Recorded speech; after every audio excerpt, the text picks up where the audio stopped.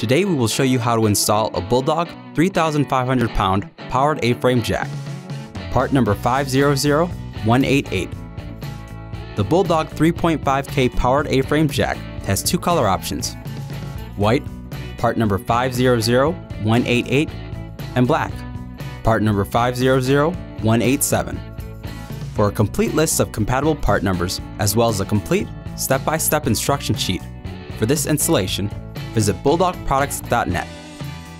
To prepare for and ensure a quick, quality installation, check all the provided parts against the parts list included with the Bulldog 3.5K powered A-frame jack. This will also help familiarize yourself with the parts and the kit. During this installation, we will be using the following tools. For this 3,500 pound powered A-frame jack installation, you will need to remove the existing trailer jack from the coupler. To do this, properly support the front of the trailer and make sure the wheels of the trailer are properly chocked to avoid any movement. Track the existing jack and remove the block.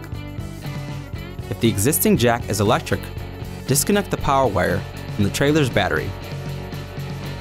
Remove the bolts attaching the jack to the trailer and pull it from the coupler. Once the old jack has been removed, you are now ready to install the Bulldog 3.5K powered A-frame jack. There is an unpainted portion under the mounting plate of the A-frame jack to accommodate proper grounding. A small area of the A-frame coupler on the trailer will have to be stripped of paint to correspond to the unpainted portion of the jack. Place three provided star washers over the mounting holes on top of the A-frame coupler Next, remove the linchpin from the Bulldog 3.5K powered A-frame jack and slide the drop leg out of the jack. Place the jack through the hole in the trailer's coupler and position its mounting plate over the star washers.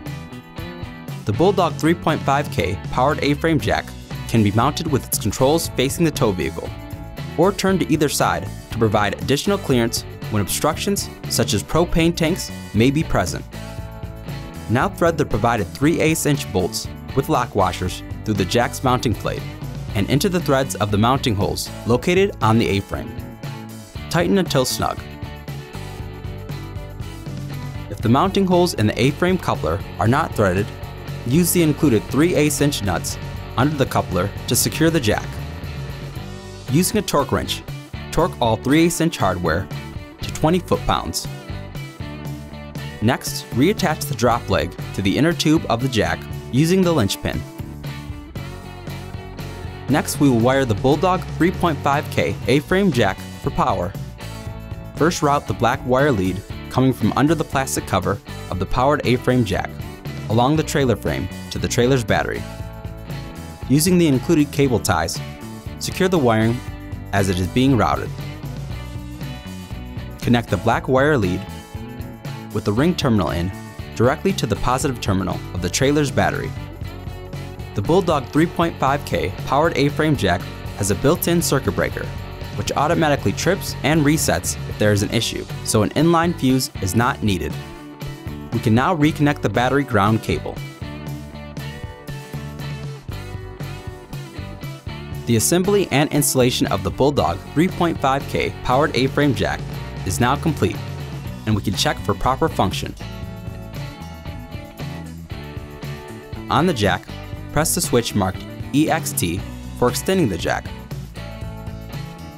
and RET for retracting the jack.